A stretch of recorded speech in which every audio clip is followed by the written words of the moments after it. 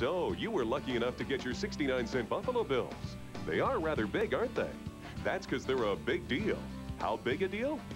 You can save 31% on items for the whole house, like new furniture from Dufresne. Or how about that home theater you've always wanted from Advance? Then, with the money you saved, you can treat yourself at Arby's. The 69 cent Buffalo Bill from Buffalo Credit Union and Global. You got 'em, so spend 'em.